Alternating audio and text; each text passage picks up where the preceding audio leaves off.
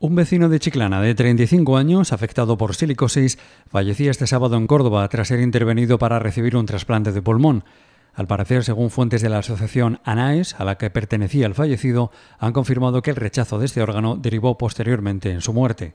Se trata del segundo caso originado por la misma patología, la silicosis, que no ha conseguido superar un proceso como al que ha sido sometido JGG,